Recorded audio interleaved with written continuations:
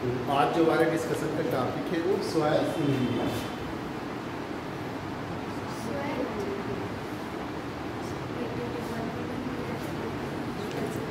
Soil से soil of Bharat की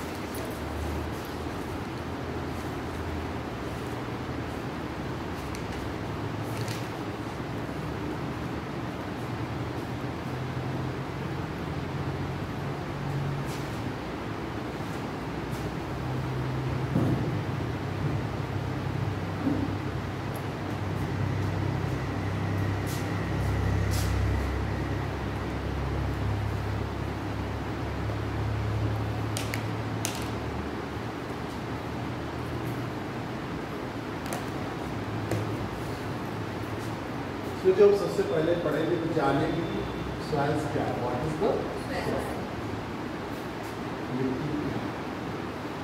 ये दूसरा सॉइल फॉर्मेशन यानी मिट्टी के निर्माण को प्रोवाइड करने वाले कौन कौन से कारण factors affected to the soil formation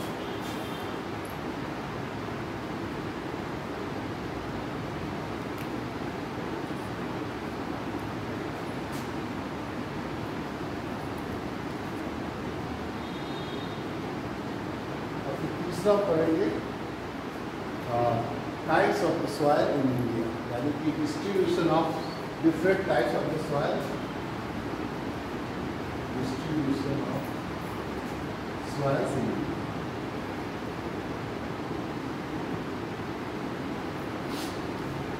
यानी किसी भी कौन कौन सी मिट्टियाँ जो भारत में पाई जाती फिर soil consume soil erosion soil degradation and degradation.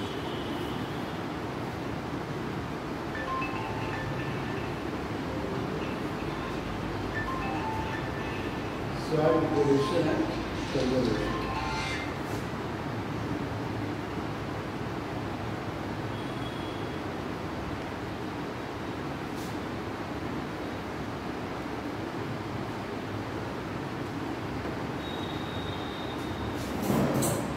फिर इसी में हाँ सॉइल डिग्रेडेशन एंड कंजर्वेशन मिट्टी का जो है अपरदन, अनाच्छादन और उसका जो है संरक्षण। हमारे आज की जो टॉपिक है, पहला है व्हाट इज़ द सॉइल मिट्टी क्या है?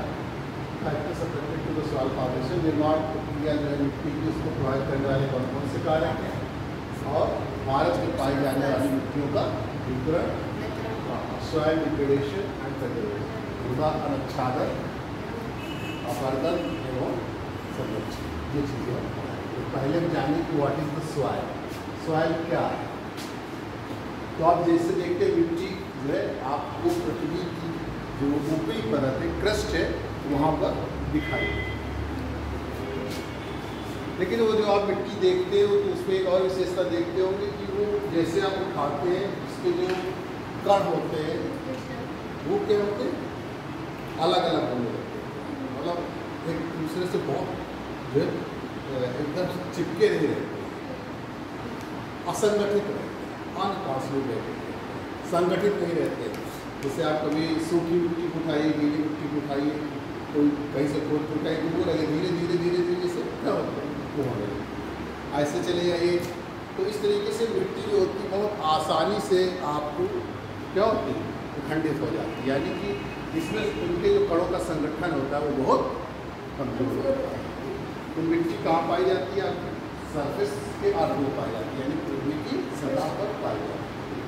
तो soil is a layer of unconsolidated materials on the surface of the earth surface of the earth यानी पृथ्वी की परत पर पाई जाने वाली जो मिट्टी क्या है? मिट्टी जो है, पृथ्वी की परत पर पाई जाने वाली असंगठित पदार्थों की एक परत। Which is derived from the rock and organic matters जिसका निर्माण किससे होता है? पत्थर और जो रॉक्स होती है शैलों और ऑर्गेनिक मैटर्स जो जैविक पदार्थ उनसे होता है through the decay of through the agency of decay and disintegration यानी कि जो विघटन के कारक हैं उनके द्वारा ठीक? मेरी बात कैसे सुनिए पूरा तो और समझ में आएगा soil is the layer of the unconsolidated materials on the surface of the earth. Okay?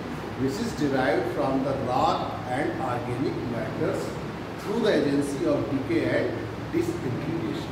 यानी कि मिट्टी जो है पृथ्वी की परत पर पाई जाने वाली असंगठित पदार्थों से बनी हुई परत होती है जिसका निर्माण जिसका निर्माण सैलो और ऑर्गेनिक जो हमारे जैविक पदार्थ हैं, उन, उनके द्वारा होता है। और ये पदार्थ किसके द्वारा लाए जाते हैं? जो हमारे अपर्दन और विघटन, यानी जो विघटन के कारक हैं उनके द्वारा। यानी कि मिट्टी जो है, पृथ्वी की परत पर पाई जाने वाली असंगठित पदार्थों की परत होती है, जिसका निर्माण विघटन के कारकों द्वारा लाए गए सैलों और ऑर्गेनिक मैटर यानी कि जैविक पदार्थों से। मान लीजिए, अब कोई नदी बह रही है देखिए आप, जो एजेंसीज ऑफ़ डीके डिसइंटीग्रेशन क्या है? सब वायु हो सकती है। ठीक? जहाँ पर सैंडी सॉइल पाई जाएगी, वहाँ पर वायु की प्रधानता रहेगी। नदियों के द्वारा जैसे नदियाँ क्या करती है, अपने साथ जो है अपरदित करके, यानी कि सैलों को अपर्दित करके अपने साथ जो बहा कर लाती है, जब उनका वेग कम हो जाता है तो अगल बगल नदियों क्या करती है? जमा कर देती है, जिससे हमारा एनुअल सॉयल बनता है। ठीक?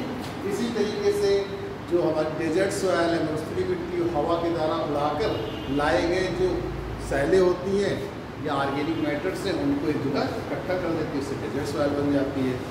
ठीक? ग्लेशिएटेड सॉयल जैसे हमारी है तो वहाँ पर जो ग्लेशियर होते हैं, पहाड़ों पर, उनके द्वारा जो है जो छोटे छोटे ग्लेशियर्स लाए जाते हैं, उनके द्वारा विकटित उनके द्वारा जो है राक्स का अपर्दन किया जाता है और जो अपर्दित पदार्थ है, उसका एक जगह जब जमा हो जाता है तो उससे ग्लेशियटेड सॉइल बन जाती है। तो इस तरीके से ये जो विघटन के कारक इनसे लगातार हमारी शैलों का विघटन होता रहता है।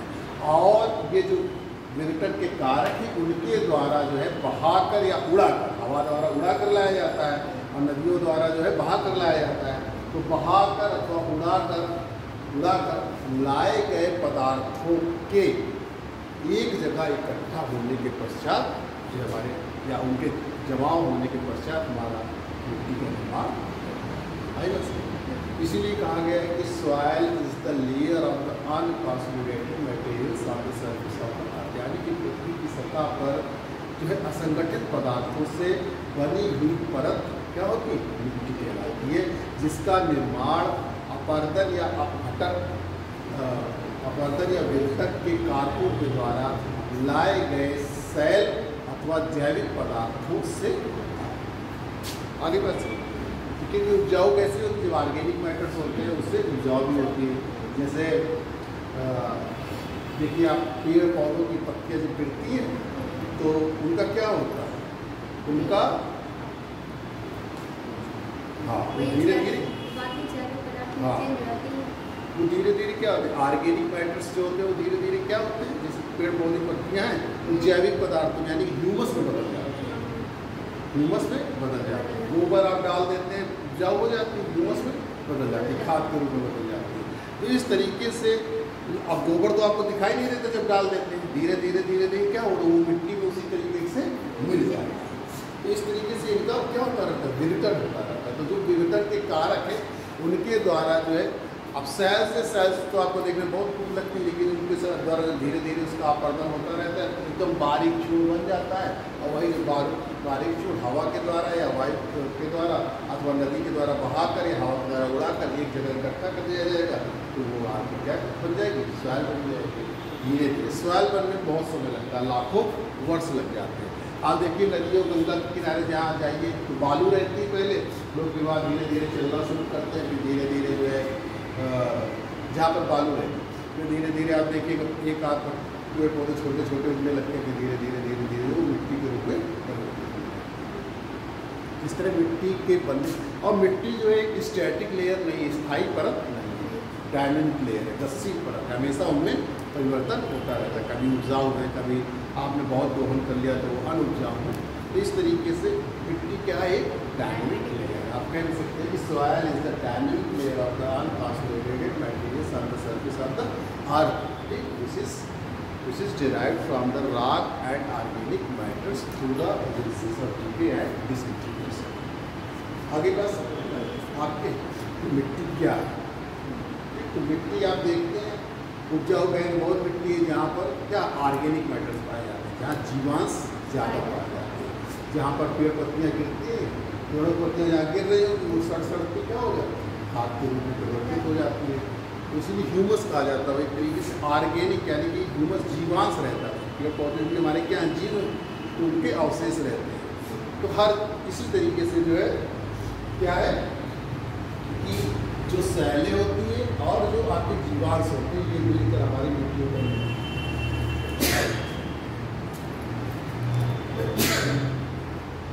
इन्हीं के आधार पर जो है मिट्टी उपजाऊ और अनुपजाऊ इन्हीं से जो है कलर डिसाइड होते हैं, जो हमारे कंपोजिशन होते हैं, संगठन होते हैं, इसी से हमारे मिट्टी का जो है कलर भी डिसाइड होता है कि कौन से कलर की मिट्टी होती है अब देखिए, मिट्टी के निर्माण की प्रक्रिया। मिट्टी के निर्माण जो होता है, उसमें कई फैक्टर्स जो है आप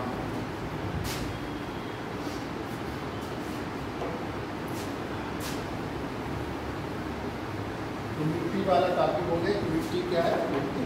जो है आपकी पृथ्वी की परत पर पाई जाने वाली असंगठित पदार्थों से बनी हुई एक परत होती है, जिसका निर्माण अब जिसका निर्माण विघटन के कारकों के द्वारा लाए गए जो है, सैलों, सैल के पदार्थों से और जैविक पदार्थों से आगे आसानी से आप इसको अब कौन कौन से फैक्टर्स जो है अफेक्ट करते हैं?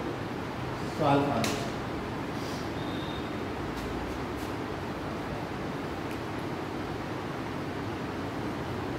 अफेक्टिंग सॉइल फॉर्मेशन कौन कौन से फैक्टर जो है, वो मिट्टी की जो निर्माण प्रक्रिया है, उसको मिट्टी निर्माण के लिए उत्तरदायी कार्य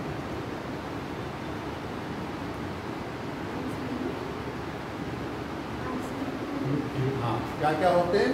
सबसे पहले तो पायरेंट रॉक्स होना पायरेंट मटेरियल्स होना चाहिए। यानी कि पैतृक पदार्थ, जिससे मिट्टी का निर्माण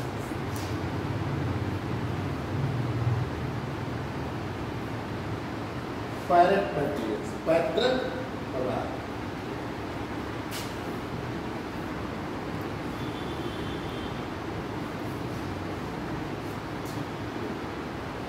अब देखिए, जब तक पायरेट मटेरियल्स नहीं होंगे, तब तक जो हमारी मिट्टी का निर्माण नहीं हो सकता। देखिए, जैसे ज्वालामुखी से के उद्गार के पश्चात जो बेसाल्ट बनती है, उससे जो है मिट्टियों का निर्माण होता है, वो ब्लैक सॉयल कहलाती है।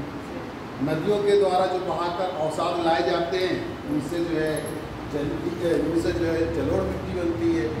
तो इस तरीके से जैसे उसके पैतृक पदार्थ होते हैं, जहाँ पर सैंड्स पाई जाती है बालू पाई जाती है हाँ वो डेजर्ट सॉइल मरुस्थलीय मिट्टियाँ हो जाती हैं, जहाँ पर जो है आप देखिए कि पेड़ पौधे पत्तियाँ ज़्यादा गिरती है वो पीट सॉइल कहलाती है। ठीक? दलदली मिट्टियाँ कहलाती है जिनका दलदल में विकास होता है। तो इस तरीके से पायरेंट रॉक्स होना चाहिए इससे मिट्टी का निर्माण होगा ग्लेशिएटेड सॉइल यानी जहाँ ग्लेशियर वगैरह रहते हैं, जहाँ पे जैसी रॉक्स है, उसी तरीके से ग्रेनाइट से है तो देखिए रेड एंड येलो सॉइल बन जाती है। बेसाल्ट से है तो ब्लैक सॉइल बन जाती है। तो जैसे इसके पैरेंट रॉक्स होते हैं पैरेंट रॉक्स मतलब उसके पैतृक पदार्थ या सैल दूसरा रिलीफ फीचर्स रिलीफ या सरफेस फीचर्स हाँ। उच्चावच से।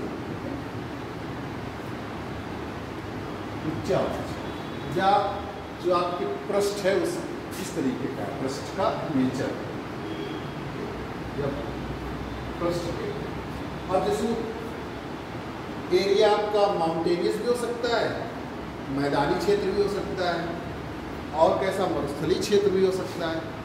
तो किस तरीके का वो उच्चावच है किस तरीके का सरफेस आप देखिए, पठारी क्षेत्र हो सकता है। तीन चीज़ें तो आप ठीक से जानते हैं, पर्वतीय, मैदानी और पठारी। और तीनों जगह की मिट्टियाँ देख के आपको अलग अलग दिखेंगी। पर्वतीय भाग में चले जाइए आप, ठीक? उत्तराखंड, जम्मू, कश्मीर, आसाम इसमें आपको दूसरी तरह की मिट्टी दिखाई देगी जिसको हम लोग फॉरेस्ट सॉइल कहते हैं माउंटेन सॉइल कहते हैं। अभी आप चले जाइए मध्य प्रदेश वगैरह तो वहाँ प्लेटो जो पठारी भाग दिखेगा वहाँ पर दूसरी तरीके की मिट्टियाँ दिखेगी। मैदानी भाग में देखिए वहाँ जलोढ़ मिट्टी की प्रधानता रहती है। हाँ महाराष्ट्र वगैरह में चले जाएँगे तो आपको ब्लैक सॉइल देखने देखने को मिलेगी। इस तरीके से में तो ब्लैक सॉइल या रेडियो सॉइल हमारे जलोढ़ का मतलब ये कि जलों के द्वारा जो जलोढ़ लाए गए। हाँ। नदियाँ बहाकर जो लाती हैं उनको जलोड़ कहते हैं। और जो मिट्टी लाती उसको जलोढ़ कहते हैं जलोढ़ मिट्टी कहते हैं। तो पाई हाँ अपने सब इंडिया में सबसे ज़्यादा एलिवल सॉइल अभी बताएँगे। इसके जस्ट बाद वही बताएँगे। रिलीफ फीचर सर्फेस फीचर्स उच्चावच जिस तरीके का उच्चावच होता है तो वो भी उसको प्रोवाइड करता है। देखिए, मैदानों में क्या है, पर्वतीय क्षेत्र में क्या रहती है? पर्वतीय क्षेत्रों में मिट्टियाँ जो होती है, वो उपजाऊ तो होती है, लेकिन ऊपरी परत जैसे पानी बहता है तो उसके द्वारा क्या हो जाता है? बहाकर ले जाती है तो उसकी जो उपजाऊ परत होती है, वो बह जाती है। जैसे, जैसा मैदानी क्षेत्र है, वहाँ बहुत अच्छे ढंग से मिट्टियों का विकास होता है। और क्या कहते हैं वहाँ पे अच्छी खेती भी होती है पर्वतीय क्षेत्रों में भी अच्छी खेती नहीं होती। आप एम वगैरह में चले जाइए जहाँ पठारी क्षेत्र किस तरीके की रेड सॉइल पाई जाती है, आपकी रार सॉइल पाई जाती है तो वो तो स्थानीय नाम में बहुत सारी हो जाती है, लेकिन आप देखें कि वहाँ लाल मिट्टी लेटेराइट हाँ। लेटेराइट नहीं रेड लेटेराइट मालूम नहीं है रेड सॉइल अलग होती है। लेटेराइट सॉइल जो यूटा टाइप का होता है है कलर उसका भी उसी तरीके से। से ब्रिक हाँ आयरन है। लेकिन उसका निर्माण दूसरी तरह होता है, अभी हम बताएँगे आगे। उस, वो इंडिया में वास्तव बहुत पहले उसका फॉर्मेशन हुआ था जब वो इक्वेटर में भारत जो हमारा भूमध्य रेखा के पास में था, तब हुआ जब मतलब उस- तो अभी बताएँगे अब निम्न फीचर्स उच्चावच किस तरीके का उच्चावच होता है तो उसी तरीके जो है के जो उसके निर्माण में उसका प्रभाव भी होता है। तीसरा इसमें क्लाइमेट जलवायु कैसी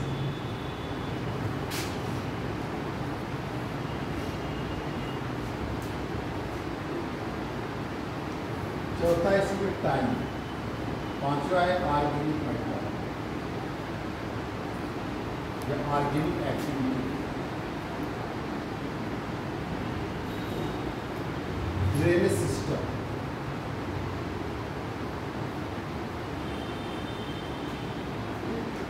vegetation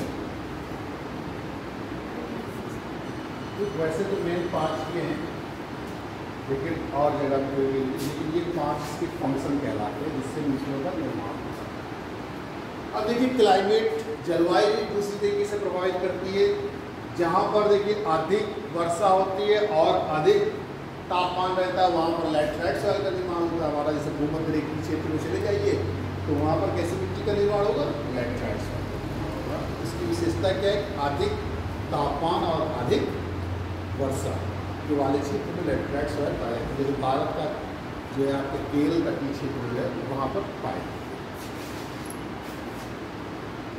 और टाइम उसके लिए एक निश्चित समय भी चाहिए। मिट्टी के परिपक्व होने के लिए मैच्योरिटी होने के लिए समय भी चाहिए। बहुत सारी जो होती है मिट्टी अगर उनको टाइम नहीं मिलता है, ठीक से डेवलप होने का तो अनमेच्योर मिट्टी कहलाती जैसे हमारी डेजर्ट सॉइल्स होती हैं सैलाइंस में और क्या कहते ये आपकी ग्लेशिएटेड सॉइल्स होती हैं एनुअल सॉइल्स होती हैं, ये हमारी होती। है। क्योंकि इनको, इनके हर बार क्या होता है? आती है, अवसाद, जैसे एनुअल है हर बार नदियाँ आई और जो है अवसाद लेकर फिर से है। इसी तरीके से डेजर्ट सॉइल है।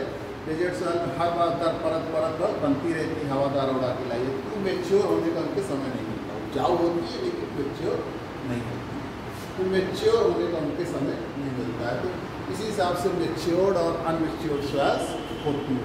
टाइम बहुत फैक्टर्स करता है कि टाइम अगर उनको जब तक उपयुक्त टाइम नहीं मिलता है, तब तक मिट्टियों का निर्माण नहीं होता ऑर्गेनिक एक्टिविटी जैविक क्रिया देखिए, जहाँ पर गर्म क्षेत्र होते हैं, वहाँ पर जो है ऑर्गेनिक एक्टिविटी ज़्यादा होती है। जहाँ पर गर्म क्षेत्र नहीं होते, ठंडे क्षेत्र होते हैं, वहाँ पर ऑर्गेनिक एक्टिविटी कम होती तो जहाँ पर ऑर्गेनिक एक्टिविटी ज़्यादा होगी वहाँ पर क्या होगा? मिट्टी ज़्यादा उपजाऊ हाँ जहाँ पर ऑर्गेनिक एक्टिविटी कम होती है यानी कि जीवांश जो जिसमें कम पाए जाते हैं वहाँ पर जो है मिट्टी ड्रेनेज सिस्टम बहाव भी बहुत निर्भर करता है। हाँ। ऑर्गेनिक सॉइल की मात्रा ज़्यादा जा रहा है कि ह्यूमस जैसे दलदल सॉइल है, वहाँ पर ऑर्गेनिक एक्टिविटी ज़्यादा होगी पेड़ पौधे जैसे गिरे और तो उनमें लगातार ऑर्गेनिक एक्टिविटी होती रहती है, जिससे वो जीवांश की खाद के रूप में एक्टिविटी से परिवर्तित हो जाती है। इसलिए देखिए काली भी दिखती है ज़्यादा होने से वो काली भी है, उसका कलर काला हो जाता हो जाता है।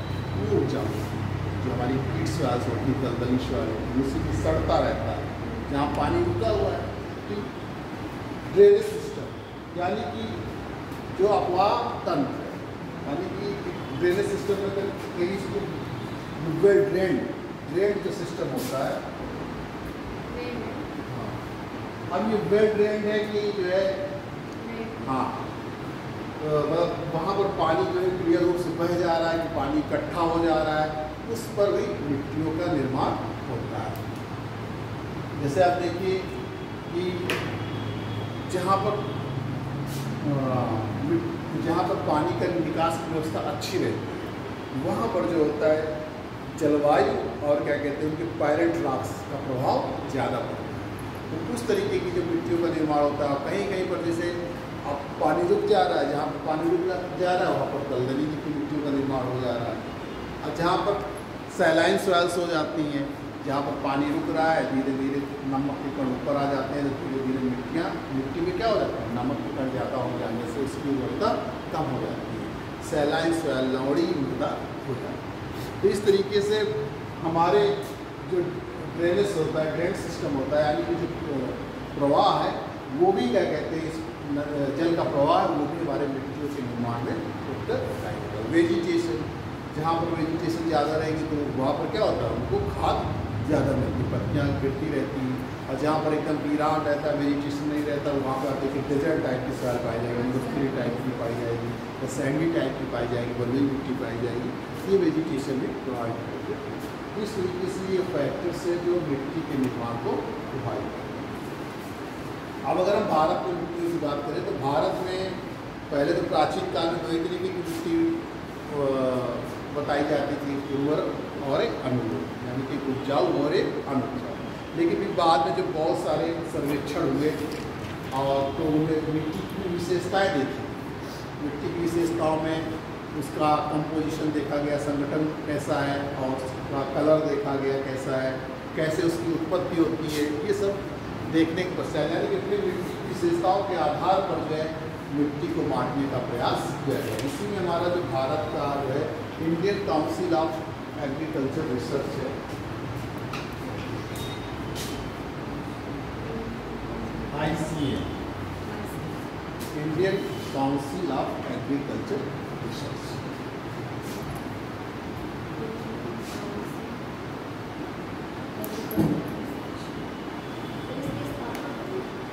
Some data.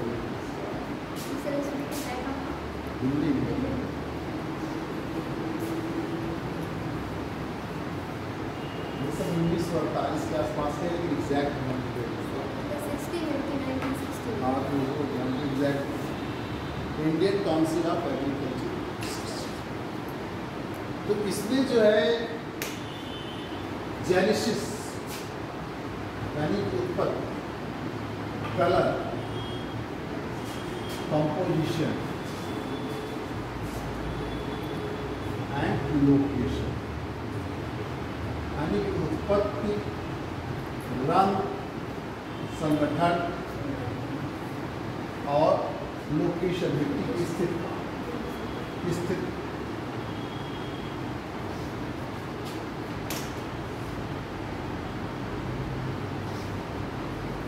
तो इस तरीके से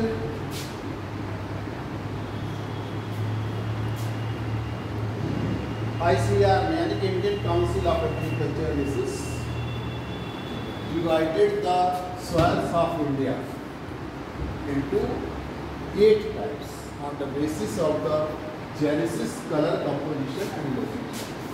इससे पहले एक बात और जान लीजिए कि भारत में भी देखिए जैसे हमने बताया कि कौन कौन से फैक्टर्स आपको जो है प्रभावित करते हैं। जैसे पैरेंट मटेरियल्स हो गया ऊँचा वच हो गया क्लाइमेट हो गया तो भारत में भी देखिए कि डिफरेंट टाइप्स की जो है रिलीफ पाई जाती है। भारत में भी विभिन्न अ, उच्च वच पाए जाते हैं। पर्वतीय क्षेत्र पाया जाता है मैदानी क्षेत्र पाया जाता है पठारी क्षेत्र पाया जाता है डेजर्ट क्षेत्र है। आपका तो उस तरीके से जो उसकी रिलीफ है उसमें क्या है? बहुत विविधता है। इसके साथ ही साथ उसकी जलवायु में भी बड़ी विविधता है। तो जलवायु में विविधता होने से और इसकी रिलीफ यानी कि उच्चावच में विविधता होने से और डिफरेंट टाइप्स के लैंडफॉर्म पाए जाने से, यानी कि विभिन्न प्रकार के स्थल रूप पाए जाने से भारत में भी कई प्रकार की मिट्टियों का निर्माण हुआ। है लेकिन एक ही प्रकार की मिट्टी का निर्माण होता है भारत में, केवल एक प्रकार की रिलीफ पाई जाती है, एक प्रकार क्लाइमेट पाई जाती है तो भारत में भी एक प्रकार की मिट्टी का निर्माण होता है। लेकिन ऐसा नहीं है। इसलिए भारत का अधिक विस्तार होने के कारण जो है, यहाँ पर जो है विभिन्न प्रकार की इस, विभिन्न प्रकार की जो है उच्चावच में विविधता पाई जाती है, विभिन्न प्रकार के स्थल रूप पाए जाते हैं और यहाँ पर जलवायु में भी विभिन्नता पाई जाती है। भारत के कई हिस्सों में, जैसे कि राजस्थान में देखिए आप डेजर्ट क्लाइमेट पाई जाती है, जबकि असम वगैरह में चले जाइए, वहाँ माउंटेनियस है, आप केरला वगैरह में चले जाइए, वहाँ वेट एंड ड्राई क्लाइमेट पाई जाती है। इस तरीके से हमारे भारत में भी जलवायु की विविधता पाई तो जलवायु में विविधता होने से और उच्चावच में विविधता होने से और विभिन्न प्रकार के स्थल रूप पाए जाने से भारत में भी कई प्रकार की मिट्टियाँ पाई जाती हैं। ठीक, वैसे तो कई लोगों ने इसके निर्धारण का प्रयास किया लेकिन जो ऑथेंटिक है तो वो आई यानी कि Indian Council of Agriculture Research ने पृथ्वी मिट्टी की उत्पत्ति, रंग, उसके संगठन और उसकी स्थिति के आधार पर जो है भारत की मिट्टियों को आठ प्रकारों में तो आई सी यानी कि Indian Council of Agriculture on the basis of genesis, color, composition, location, the soils of India.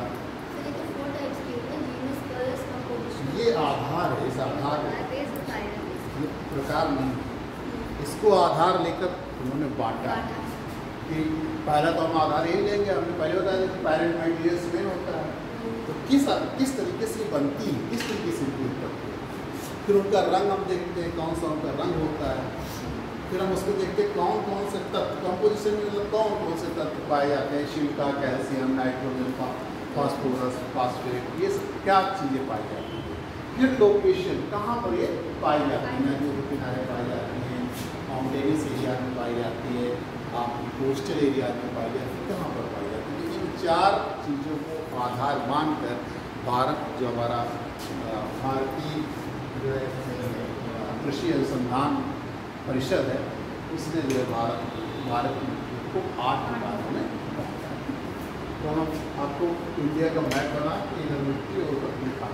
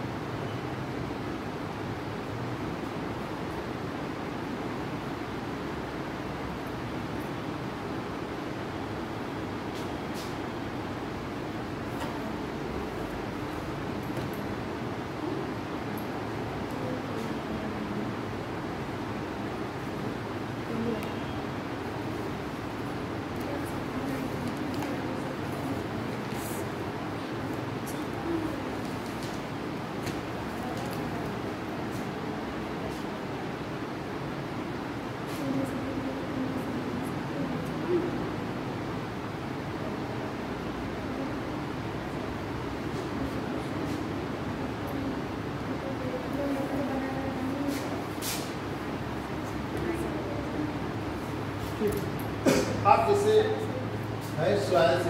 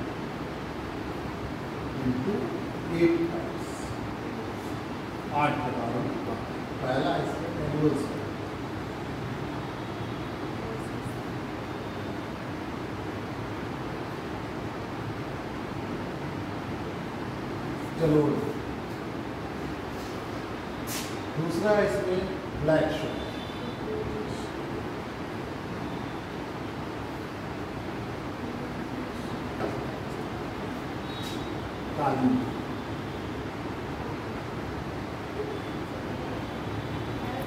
Isso vai ser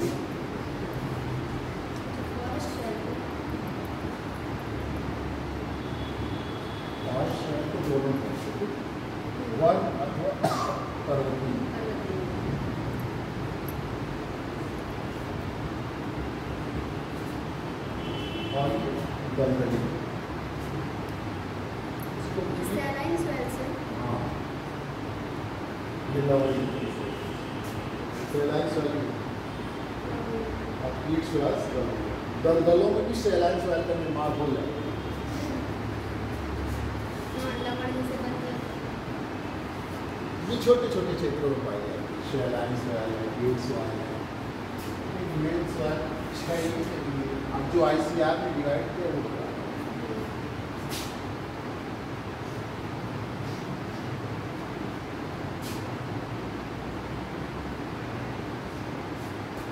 ये भारत को जो ये क्षेत्र है फॉरेस्ट वाले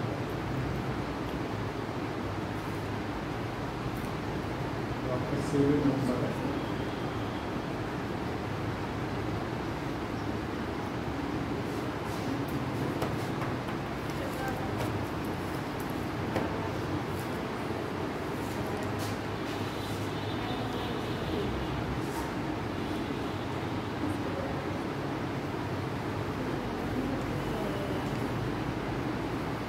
Spirit is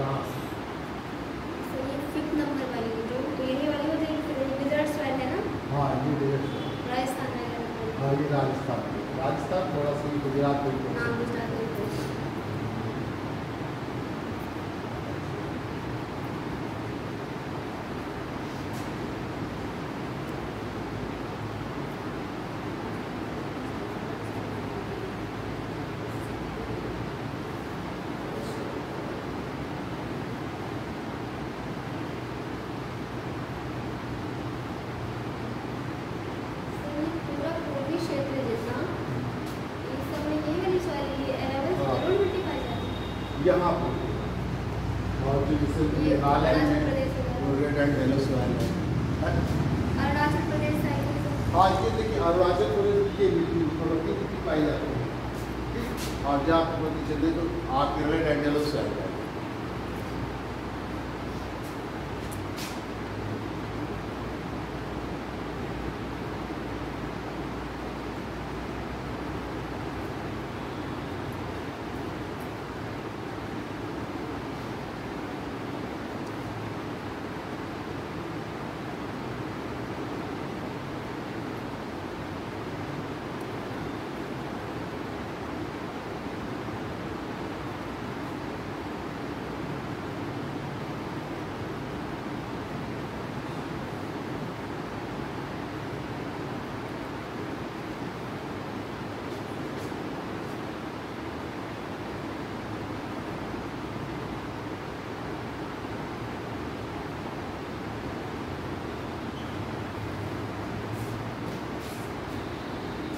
ये है मुख्य रूप से डिवीज़न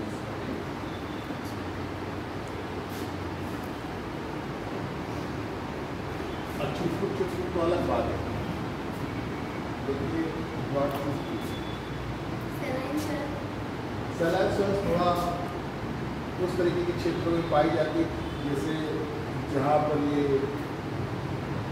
पंजाब पर हरियाणा वाले क्षेत्र में पाई जाती है जहाँ पर ज़्यादा हो गया था और ये आपका उड़ीसा में भी तो पाई जाती हाँ। उड़ीसा में पाई जाती है मोस्टली दलदली क्षेत्र होते हैं और ये रनाप कच्छ में पाई जाती है।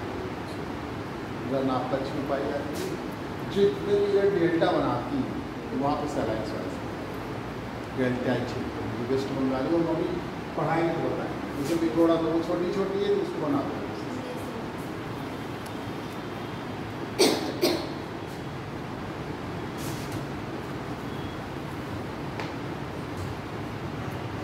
तो हम एक एक की चर्चा करें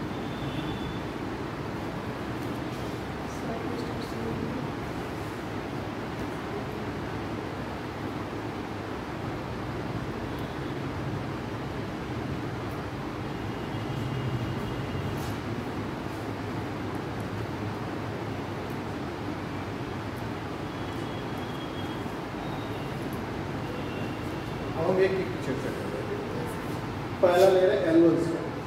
जलोढ़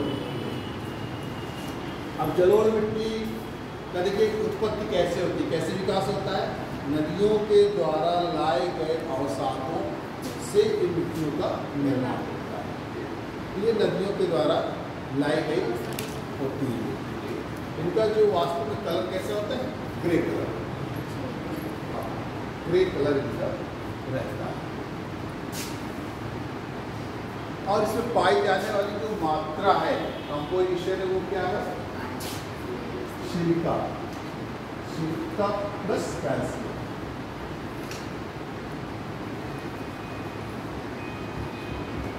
silica और कैल्शियम यानी कि इसमें सिलिका और कैल्शियम की मात्रा जो है, अधिक पाई जाती है।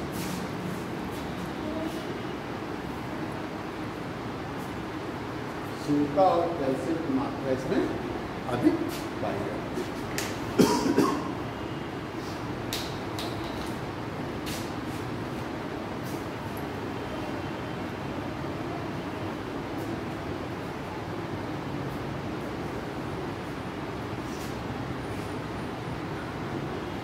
तो नदियों के द्वारा लाए गए अवसादों से ये जो है निर्मित होती है और इसका कलर जो होता है वो ग्रे कलर होता है और इसमें सिलिका और कैल्शियम की मात्रा अधिक है। अब देखिए, इसमें भी दो तरीके से नदियाँ जब लाती हैं अपने अवसादों को तो एक तो हर साल जलोढ़ों को लाती है, हर साल अवसादों को लाती है। जो ये वाला क्षेत्र मानेगी यहाँ पे हर साल अवसादों को लाती है। ये वाला क्षेत्र हमारा क्या कहलाता है? खादर खादर ये कह रहे हैं कि नदियाँ जब अपने साथ जलोढ़ों को लाती हैं, एनुअल को लाती हैं तो उनसे जलोढ़ मिट्टी का निर्माण होता है। अब दो तरीके की कंडीशन होती है कि नदियाँ एक तो प्रत्येक वर्ष जो बाढ़ आती है तो अपने साथ अवसादों को लाती हैं, यानी कि जलोढ़ों का निर्माण करती हैं। नीक एनुलम जिसे कहते हैं, और हिंदी में उसको खादर कहते हैं।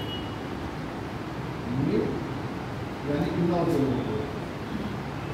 और नीक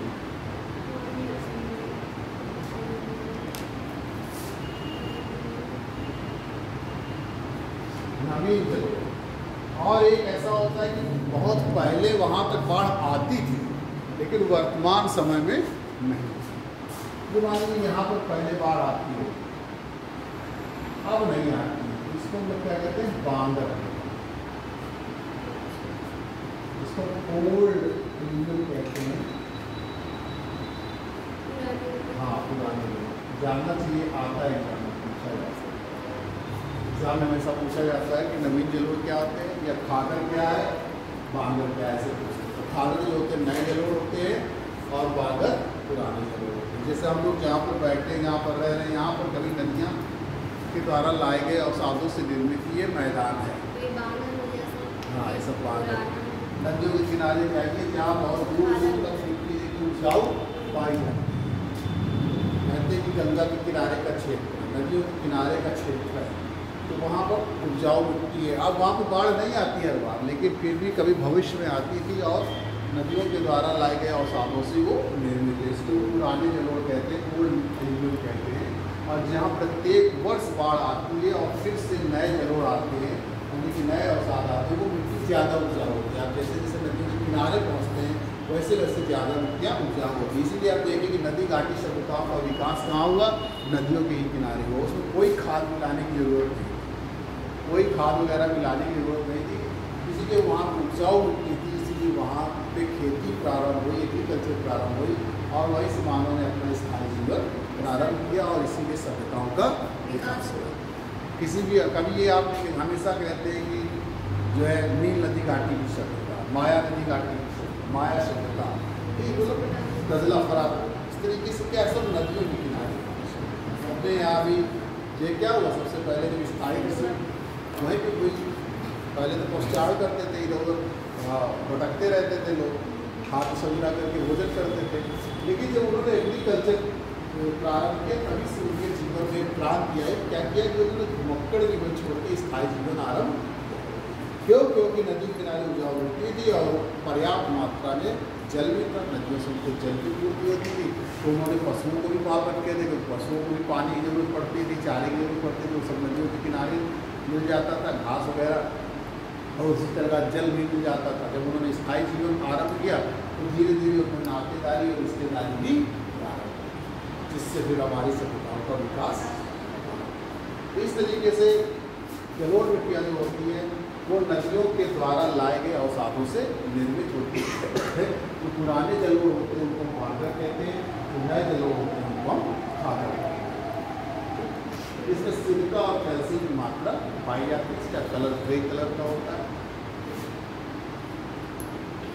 और जो है, ये ये जो पाई जाती है, वो भारत के जो मध्य मैदान है, भारत का जो मध्य मैदान है, वहाँ पर जो है, ये मिट्टियाँ और हमारे जो पूर्वी कोस्टल एरियाज़ है ये आप देख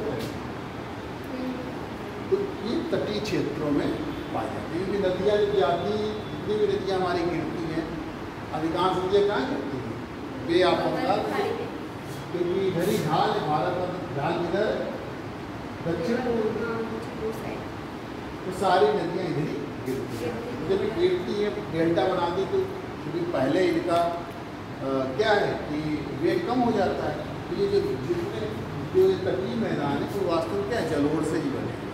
उनके द्वारा जो अवसाद ले जाए गए हैं उन्हीं को जमा कर दिया गया है नदियों के द्वारा पे बन गए इस तरीके से जो एनुअल सॉइल्स पाई जाती है, वो कहाँ पाई जाती है नदी घाटी क्षेत्रों में यानी कि मध्य मैदानी क्षेत्रों में और पूर्वी तटीय क्षेत्रों में। ये लोकेशन ये चार चीज़ें हमेशा हमको ध्यान रखना है।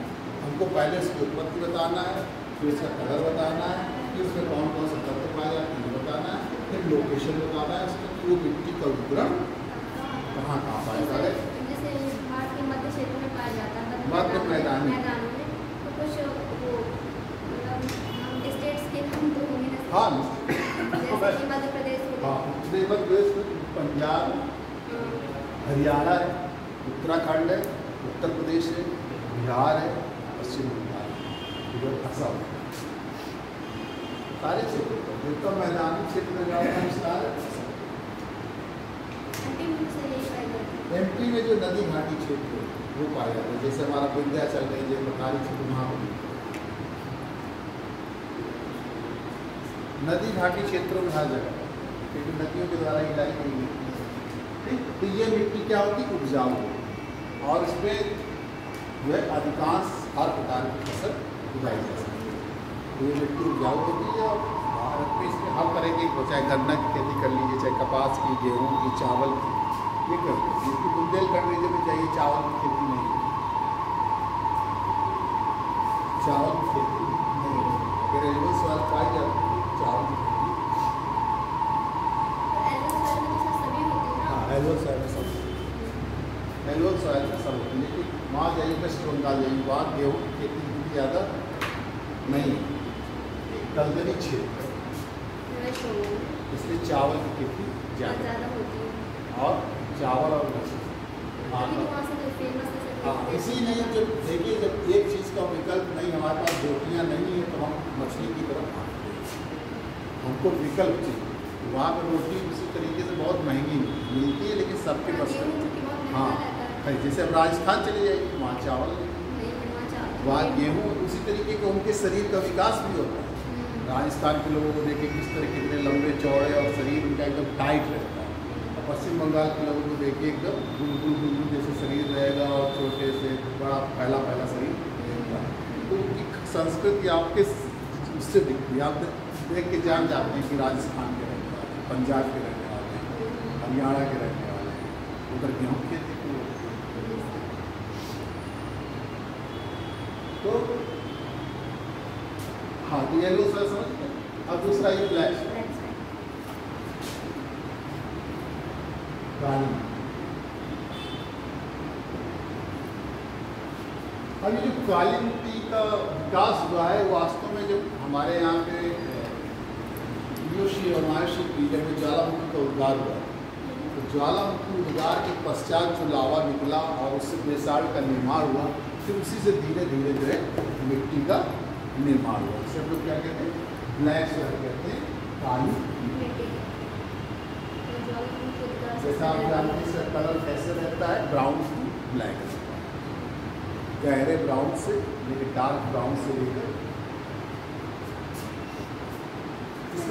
सोने तो काली ही होती है। हाँ वो जो डार्क एकदम हाँ हो है काली जैसे दिखता है। पूरा काला नहीं रहता लेकिन डार्क ब्राउन रहता है। वो थोड़ा से रेड कलर आप देखते हैं बहुत सारे एकदम काला तो एकदम काला हो जाता है काजल जैसे जो दिखता है।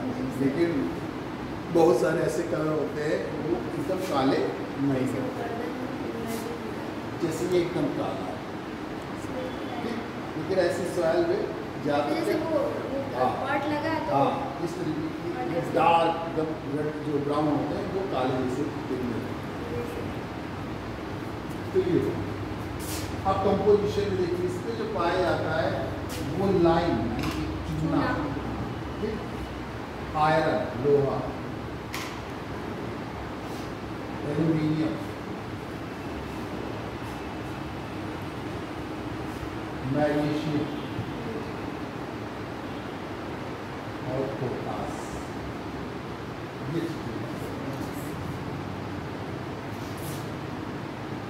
इसमें अक्सर क्वेश्चन पूछा जाता है एग्ज़ाम में आपसे कि अभी इसके अलावा इसमें सब चीज़ों की क्या है? कमी ह्यूमस नहीं पाया जाता रखिए, उपजाऊ होने के बावजूद भी इसमें ह्यूमस नहीं पाया जाता जीवांश नहीं पाया जाता आप जान ही सकते हैं क्यों ह्यूमस नहीं पाया जाता क्योंकि जब इतना अधिक तापमान था उसका तो उसमें कोई जीव जो है ज़िंदा नहीं रह सकता इसलिए ह्यूमस आइए से क्वेश्चन पूछा जाता है कथन कारण में इसलिए पूछा जाता है कि काली मिट्टी का रंग काला होता है। दूसरा पूछा जाता है कारण में इसके कि काली मिट्टी में लौह एवं जीवांश की मात्रा अधिक पाई जाती है। तो क्या सही होगा क्या गलत हो उसका। अगर इसी की जगह ये कर दिया जाए कि आयरन होता तो कार जो है काली मिट्टी का रंग काला होता है। दूसरा कारण दे दिया है क्योंकि इसमें लौह या लौहांश की मात्रा अधिक होती है। तब सही होगा। क्योंकि जीवांश की मात्रा अधिक नहीं। कभी कभी केवल ये पूछ लेते हैं कि काल काली मिट्टी का रंग काला होता है कारण क्योंकि इसमें जीवांश की मात्रा अधिक। जीवांश हो ही नहीं सकता है क्योंकि जब इतना अधिक तापमान रहेगा तो कोई जीव उसमें ज़िंदा नहीं रहेगा। जीवांश के लिए धीरे धीरे धीरे धीरे सड़ते हैं ऑर्गेनिक एक्टिविटी होती है। तब उसमें जीव के अंश पाएगा तब वो उपजाऊ होती है। ब्लैक सॉइल की एक विशेषता और होती है कि ये जैसे इसमें पानी मतलब जब इसको वेट होती है, यानी गीली होती तो फूलती और जब ये ड्राई होती है तो क्या होती सिकुड़ती तो गर्मियों में जब पानी कमी हो जाती है तो दरारें फट जाती ऐसा लगेगा जैसे कि जुती हुई खेती, जैसे आप हल चला दिए इस तरीके की खेती की। इसीलिए इसको सेल्फ प्लॉइंग यानी स्वतः जुताई वाली मिट्टी भी रखिए आता है कौन सी मिट्टी को स्वतः जुताई तीनों चीज़ें हैं।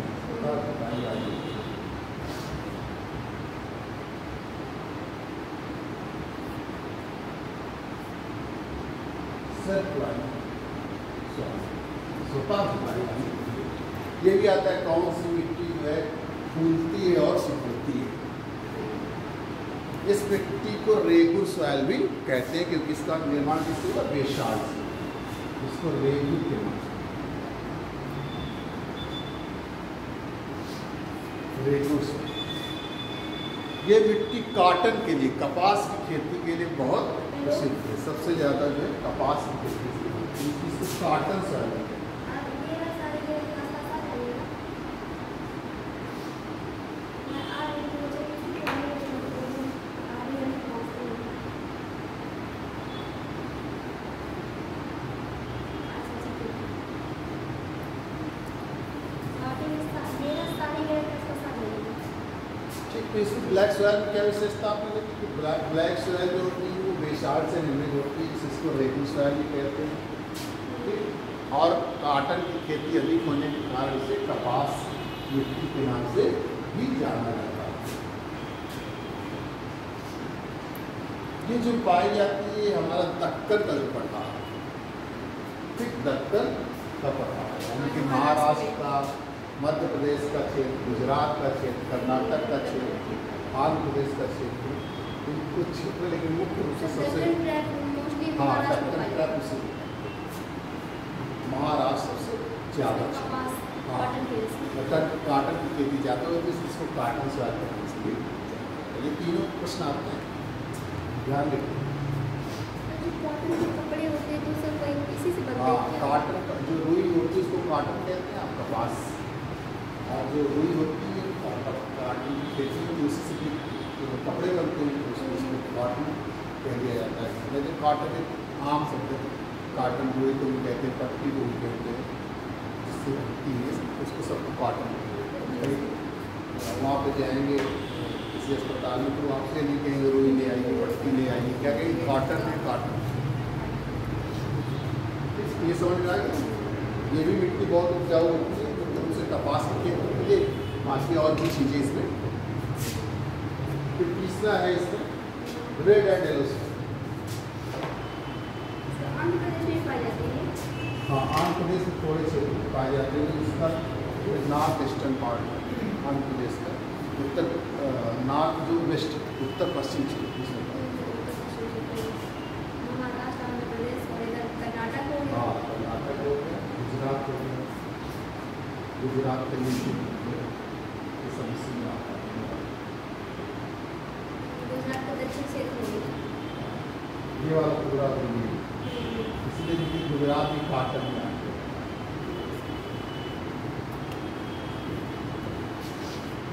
इसीलिए यहाँ पे सब कॉटन के कपड़े हाँ हाँ जहाँ काटन की खेती होगी वहाँ पे कपड़े होंगे काटन इंडस्ट्री डेवलप हो इसीलिए आप जानते हैं अहमदाबाद को क्या कहते हैं कॉटन से हाँ अहमदाबाद में सबसे ज़्यादा जो है पाया जाता है अहमदाबाद को लोग जो है मानचेस्टर दक्षिण भारत इस तरह अपने इंडिया में से मेरा कपास महाराष्ट्र में होता है बदलता रहता है। महाराष्ट्र गुजरात तो मुख्य रूप से आप कपास एनुअल सॉयल में भी होती है। एनुअल सॉयल अच्छा हाँ।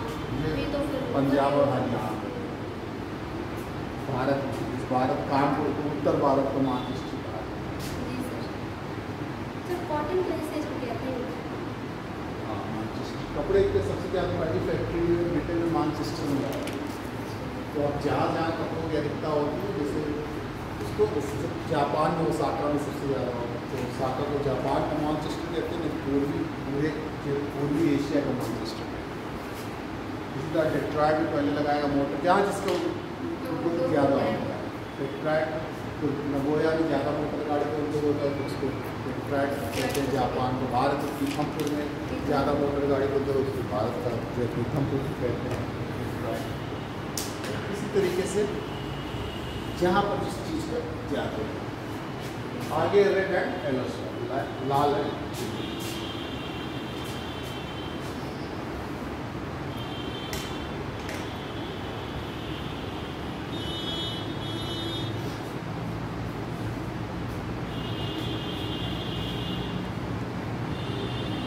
अब जो रेड एंड येलो सॉयल है, ये वास्तव में जो हमारी ग्रेनाइट सेल्स होती हैं उनके अपर्दन से तो जो हमारी ग्रेनाइट सेल है या बाद में राशि में कुछ चेंज हो गई तो उनके अनाच्छादन से इनका निर्माण हुआ है, ठीक है? रेड सॉइल्स होती है, ऊपरी भाग में पाई जाती है येलो सॉइल्स होती है वो निचले भाग में पाई जाती है। इसमें मुख्य रूप में आयरन जो होता है पाया जाता है आयरन और पोटेशियम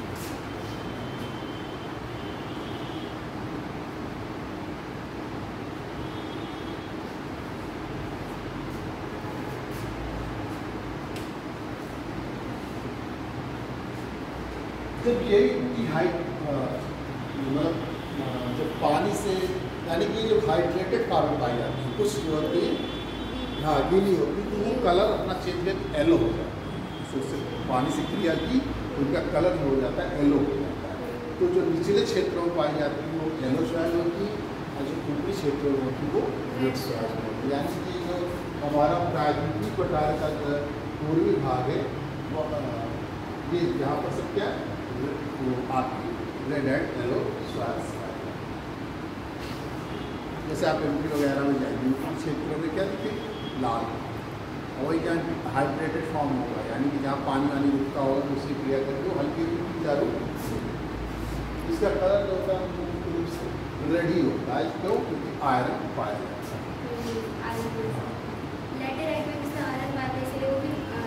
हाँ तो ये हो गया, इसका विस्तार आपको गई मुख्य रूप से वास्तव बहुत उपजाऊ नहीं होती है लेकिन जो है उनके साथ हम उर्वरक का प्रयोग करते हैं तो ये काफ़ी तक जो है उपजाऊ हो जाता है। ये आपको पूरा ये क्षेत्र है जैसे आंध्र पूरी हाँ, जैसे आंध्र प्रदेश हो गया तमिलनाडु का क्षेत्र हो गया छत्तीसगढ़ का क्षेत्र हो गया उड़ीसा हो गया ये सब जगह।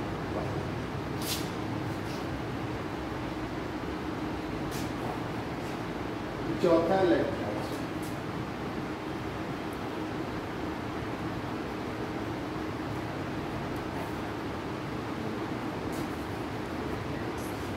ठीक वास्तव में इलेक्ट्राइट सेल का जो निर्माण हुआ है, वास्तव में उसको अधिक तापमान और अधिक वर्षा की आवश्यकता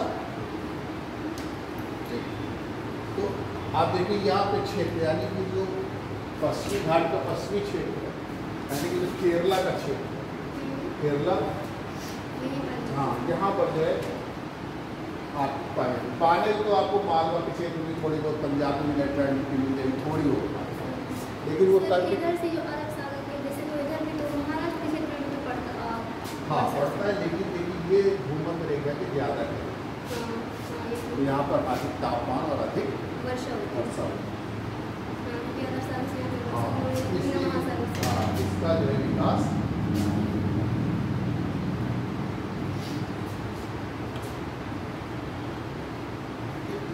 ये इसी तरीके की जैसे ब्रिक्स होती है मोटी मोटी ईंटें होती उसी कलर की होती हुई है। ईंटों के कलर की ही ये होती है। इसलिए इसको इसका क्या करें कि इसमें पाया जाता है आयरन पोटास और एल्यूमिनियम।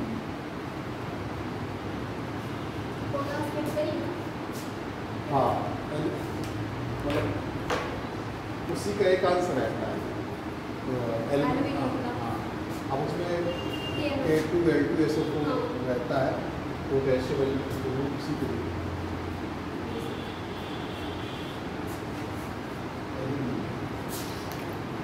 ये पाएगा। और इसमें क्या खासियत होती है? इसमें लीचिंग की क्रिया होती है। यानी इसमें लीचिंग की क्रिया होती है। यानी कि ये वैसे पाए जाते कि भूमध्य रेखी क्षेत्र में वेजिटेशन भी बहुत ज़्यादा है, इसलिए उपजाऊ होना चाहिए था। लेकिन वास्तव में इतनी उपजाऊ नहीं होती है। क्यों? क्योंकि इसमें अधिक वर्षा होने के कारण जो लीचिंग जो होती यानी कि जो इसके उपजाऊ तत्व होते हैं वो नीचे की ओर चले जाते हैं पानी से नीचे की ओर चले जाते हैं। तो इसलिए ये मिट्टी उपजाऊ नहीं होती। इसमें से हाँ लीचिंग पूछा जाता है कभी कि लीचिंग की प्रक्रिया किस क्षेत्र में होती है? तो जहाँ पर अधिक तापमान और अधिक वर्षा होती है, वहाँ पर लीची की प्रक्रिया होती है। वर्ड में पूछा जाएगा यानी भूमध्य रेखी क्षेत्रों में लीचिंग की प्रक्रिया आप वहाँ जिसे क्या कहते हैं? करते हैं। अपक्षालन से।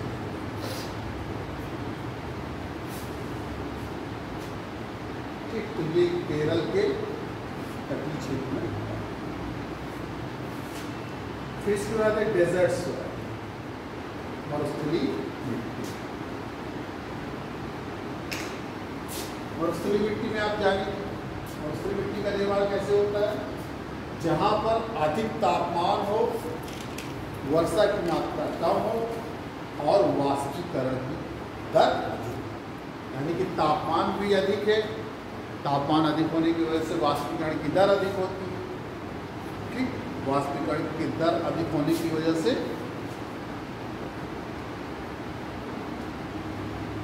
तापमान में यदि कहीं वाष्पीकरण हो गई हाँ तापमान होगा हो तो होगा, वर्षा होती नहीं है तो वो मिट्टी मरुस्थल मरुस हाँ मरुस्थली मिट्टी में जाती है। मिट्टी उपजाऊ नहीं इसे हम लोग सैंडी सॉइल भी कहते हैं। कौन सी soil sandy soil sandy soil balloon हाँ बालू ज़्यादा पाई जाती बालू ज़्यादा पाई जाती है। इसका भी कलर ग्रे जैसे रहता है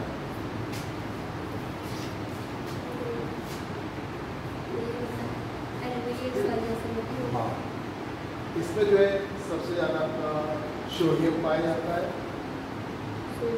हाँ सोडियम की मात्रा अधिक रहती है इसकी। इसमें भी पोटास अधिक पाया जाता है।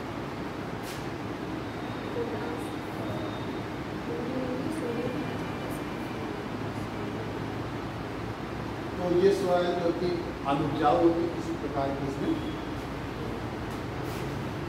प्रकार की फ़सल का उत्पादन। नहीं होता है क्या।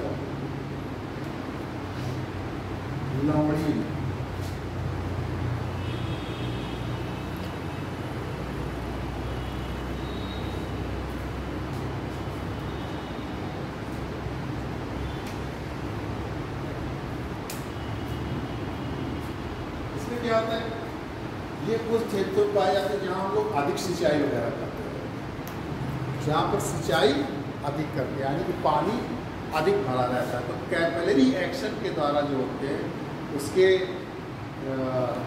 जो नमक के कण होते हैं, वो ऊपर की ओर आ तो ये क्या हो जाती है? शेलाइन सर हो जाती है। नौड़ी मिट्टी हो जाती है, जिसमें मुख्य रूप से क्या पाया जाता है? सोडियम पाया जाता है। पोटास पाया जाता है और मैग्नीशियम ये चीज़ें इसमें कंपोजिशन में है सोडियम पोटास और इसमें कैपिलरी एक्शन होता है जो किया जाता है हाँ तो उससे नीचे के जो तत्व हैं वो ऊपर आ जाते हैं। तो इसी वजह से जो आपके नमक के कण होते हैं वो आकर ऊपर नमक की मोटी परत बना देते हैं मिट्टी के जो जस्ट नीचे यानी कि तो मिट्टी की ऊपरी परत होती है वो उपजाऊ नहीं रहती। सैलाइन सॉइल में आप देखेंगे नमक नमक जैसे आपको हो है। इस तरीके की क्षेत्र जैसे पंजाब हरियाणा यानी कि जहाँ पर हरित क्रांति ज़्यादा सफल हुई उसमें उनका एक दोस्त मिला है। जो वहाँ की काफ़ी शहर सैलाइन है। है।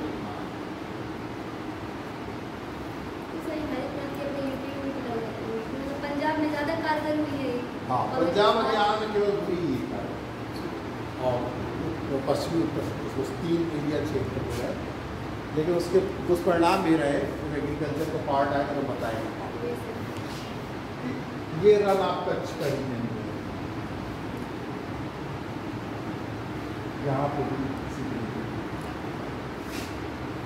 और ये जो उड़ीसा और क्या कहते हैं, वेस्ट बंगाल का जो एंडाई रीजन है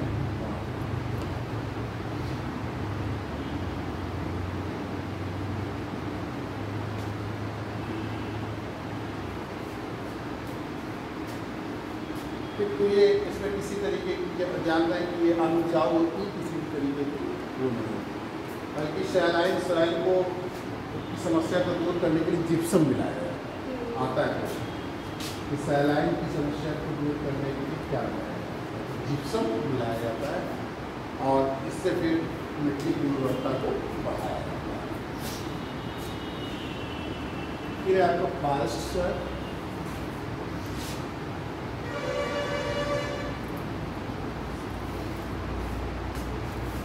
फॉरेस्ट या वनी इनका ये जो पाई जाती है ये कहाँ पाई जाती है? पर्वतीय क्षेत्रों में इनका विकास होता है।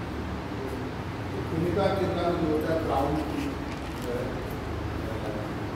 डार्क ब्राउन जो है।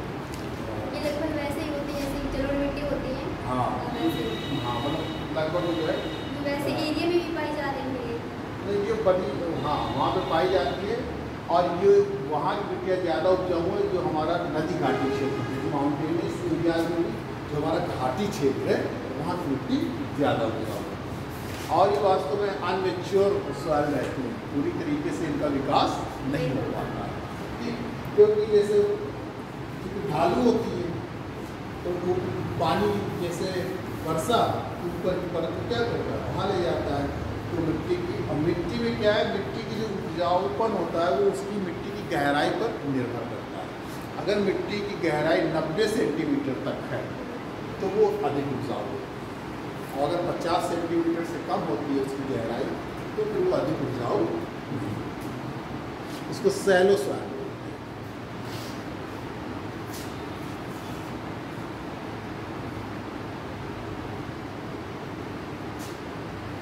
यहाँ ह्यूमस की मात्रा तो अधिक पाई जाती है। पेड़ पौधे बहुत रहते हैं। लेकिन होता क्या है वही यहाँ बारिश हुई तो उसकी पूरी तरफ़ भाग ले जाए अनमेच्योर रहती है। उसकी तो मिट्टी का पूरी तरीके से विकास हो ही नहीं हाँ। बहती रहती है तो इसलिए है उपजाऊ होते हुए भी इसमें अच्छी फ़सल नहीं नहीं हो पाती इसलिए बागानी खेती आप लोग करते हैं जैसे चाय वगैरह। बागानी का मतलब जो आपकी प्लांटेशन एग्रीकल्चर चाय है रबड़ है जहाँ अधिक वर्षा की ज़रूरत है मतलब असम उस वाले क्षेत्र में तो सिर्फ़ यही होती होगी ना हाँ तो चाय के जो बागान बनाए जाते हैं यहीं पे बनाए ठीक। ट्राफ्टल रीजन में भी प्लांटेशन की एग्रीकल्चर होती है। वहाँ पर एक क्षेत्र बना दिए जाते हैं लेकिन यहाँ पर चाय है कहवा है काफ़ी इसकी जो है खेती इसकी क्योंकि उनको उसी तरीके से चाहिए कि वहाँ पर जो है पर है। हाँ होती है लेकिन ये कि होता है कि मिट्टी के साथ साथ उसकी जो प्राकृतिक दशाएँ हैं, यानी कि वर्षा भी चाहिए, लेकिन पानी उनकी जड़ों में रुकना नहीं चाहिए। तो होता क्या है कि लैटराइट सॉइल जहाँ भूमध्य रेखीय क्षेत्रों में पाया जाता है तो वहाँ पर पानी बहता रहता है, रुकता रहता है दलदली क्षेत्र बन जाता है, लेकिन वहाँ पर प्रत्येक दिन वर्षा होती है। पानी का जो है, क्या निकास नहीं हो पाता जल निकास नहीं होता। जबकि इन क्षेत्रों में क्या है कि पानी नहीं रुकता इसीलिए वहाँ पर ना भूमध्य रेखीय क्षेत्र में करके पर्वतीय क्षेत्रों में खेती अब लास्ट है आपका? दलदली। तो दलदली जो मिट्टी होती है जहाँ पर पानी इकट्ठा हो जाता है। पानी इकट्ठा हो जाएगा तो जो उसमें पेड़ पौधों की पत्तियाँ गिरती हैं, वो जीवांश के रूप में परिवर्तित हो जाती है। यानी कि इनमें जो जीवांश की मात्रा होती है, वो चालीस से पचास परसेंट तक पहुँच जाती है। जिससे ये एकदम देखने में कैसी लगती काली मिट्टी काले रंग जो होता है इनका कलर काला दिखाई देता है और ये बहुत उपजाऊ होता है। तमिलनाडु रीजन में हाँ उड़ीसा रीजन में उड़ीसा के क्षेत्रों में तमिलनाडु के क्षेत्रों में पश्चिम बंगाल के क्षेत्रों में ये पाई जाती है। जैसे पश्चिम बंगाल में क्या होता है? या तो जब जाती है नदी में जाती है गंगा नदी है वहाँ ढाल एकदम कम हो जाता है तो नदी बहुत सारी शाखाओं में यानी कि वितरिकाओं में बढ़ जाती है। डिस्ट्रीब्यूटरीज में बढ़ जाती है। अब पानी भरा हुआ है। अब पानी भरने की वजह से वहाँ पर क्या होते हैं? जो पत्तियाँ वगैरह मिट्टी वगैरह सब दलदली बन जाती है। इसी तरीके से उड़ीसा का जो क्षेत्र है, ये सब तटीय क्षेत्रों में ही पाए जाते हैं। तमिलनाडु। में इस तरीके से तो ये तो इसमें कौन से कौन से तत्व पाए जाते हैं? इसमें सबसे ज़्यादा ह्यूमस पाया जाता है। ह्यूमस की मात्रा सबसे अधिक पाई जाती है। आयरन भी पाया जाता है और ह्यूमस सबसे ज़्यादा ह्यूमस जीवांश। बोला इसके कारण है इसका कारण अगर ये कहा जाए कि काली मिट्टी बहुत उपजाऊ होती है या काली। में ईट मिट्टी बहुत उपजाऊ होती है और इसका रंग काला होता है तो दूसरा कलर इसमें ह्यूमस की मात्रा जीवांश की मात्रा अधिक होती है तो ये सही इसमें जीवांश की मात्रा होने से ही मतलब आयरन की अपेक्षा जीवांश की मात्रा बहुत अधिक है। है तब सही है तब सही है जीवांश की मात्रा इसमें। है। है इसलिए इसका रंग है। सबसे अधिक उपजाऊ होती क्या सही है? हाँ सब उपजाऊपन में जो है चूँकि छोटे क्षेत्र में पाई जाती है इसलिए इसकी काउंटिंग नहीं की जाती। बाकी दलदली क्षेत्र जो है जैसे प्रेरी रीजन यूएसए का है वहाँ पे भी यही कारण है। वहाँ पे भी जो जीवांश की मात्रा अधिक पाई जाती है। इसलिए प्रेरी रीजन में गेहूँ की खेती बहुत अच्छी है। ये प्रेम का जो क्षेत्र है जिसे हम ब्रेड ऑफ़ बास्केट भी कह कहा जाता है जो है क्या कहते हैं? रोटी की दलिया कहा जाता था ये ट्रेन का जो क्षेत्र है गेहूँ के क्योंकि वहाँ स्टेपीस घासें पाई जाती हैं जिससे वहाँ पर आपको घासें वगैरह रहती है तो इससे वहाँ पर जीवांश की मात्रा सर अब पढ़ाई हम जा सकते कि बस ज़्यादा दस दस मिनट पाँच मिनट। सर आप बताइए हम जाते हैं? मैनग्रोव भी जो क्षेत्र होते हैं वो भी दलदली क्षेत्र। है मैं जो वनस्पति पाई जाती है लेकिन उसका कारण वहाँ साल्टी जो वो रीज़न है मतलब हाँ पानी भरा है। वो साल्टी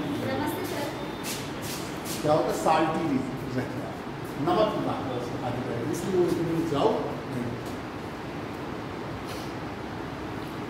अब देखिए दो टॉपिक और बच्चे छोटे छोटे बता दें मैं आपको। सॉयल इरोजन और सॉयल जो है कंजर्वेशन मृदा क्षरण अपर्दन। मृदा का अपर्दन भी हो रहा था। ये सब तो फैक्टर्स रिस्पॉन्सिबल है। लेकिन आप देखिए कि आजकल क्या होता है? मिट्टियों का अपर्दन होता है। तो मिट्टियों के अपर्दन, यानी कि इरोजन किसे कहते हैं? यानी कि मिट्टी का अपर्दन gradual removal of the top layer of the soil is known as the soil erosion यानी कि जो मिट्टी की परत है, मिट्टी की ऊपरी परत का धीरे धीरे हटना ही मृदा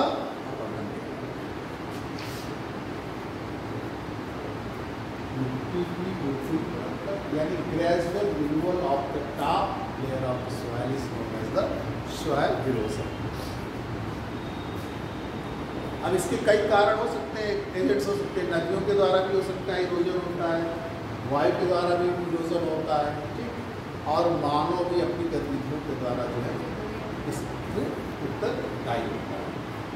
तो इस तरीके से आजकल जो है, मिट्टियों का जो है अपर्दन हो रहा है। मिट्टी के जो अपर्दन के वास्तव में क्षेत्र हैं, एक तो आपका भावर रीजन है, ठीक?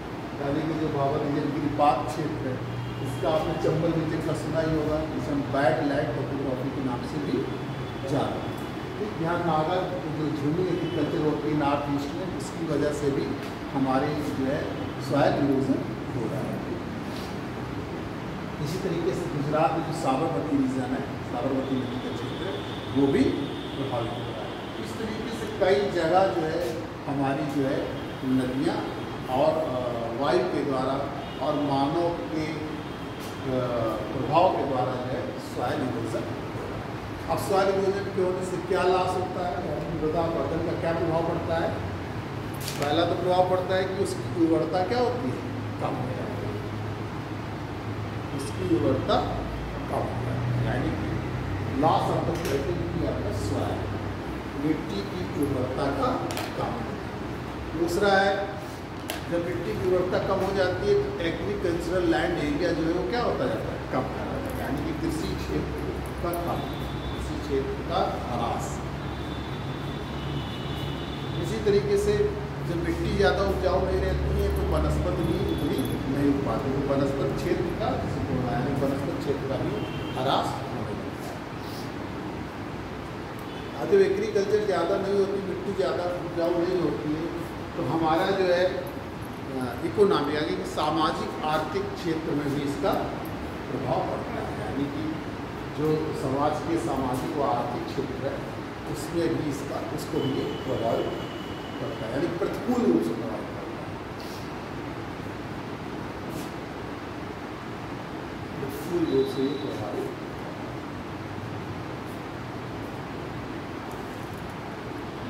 अब हम इसका संरक्षण कैसे कर सकते यानी कि मृदा संरक्षण क्या है? मिट्टी की गुणवत्ता और मिट्टी की उर्वरता में सुधार करना ही हमारा क्या है? मृदा संरक्षण। यानी कि जो मिट्टी की उर्वरता है, उसको हम सुधारें, मिट्टी की गुणवत्ता को सुधारें। उसको क्या कहते हैं? मिट्टी का संरक्षण।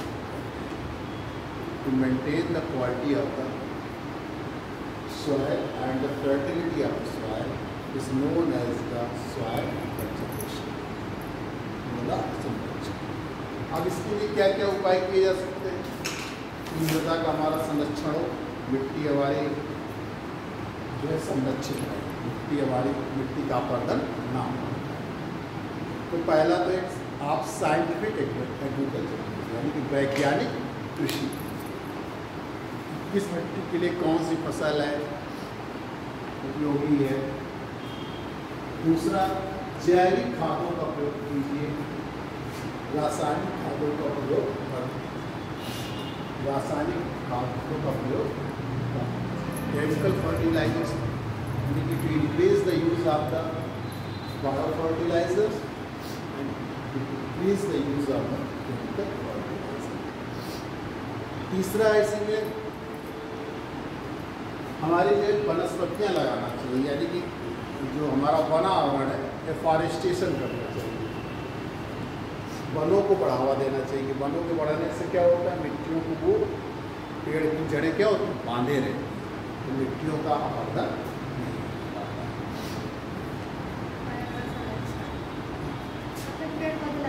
हाँ वनावरण, यानी कि वनों को, वन क्षेत्र को बढ़ावा देना चाहिए। ठीक। और बहुत इंटेंसिव एग्रीकल्चर में करना चाहिए, यानी कि सघन खेती नहीं करना चाहिए सघन खेत खेती करने से क्या है कि मिट्टी की उर्वरता प्रभावित है।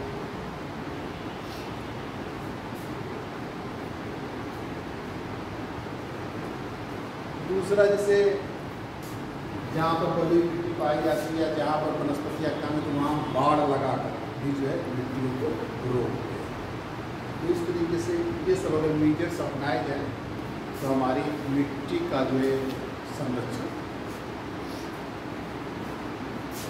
अब अगर कुछ पूछना हो आप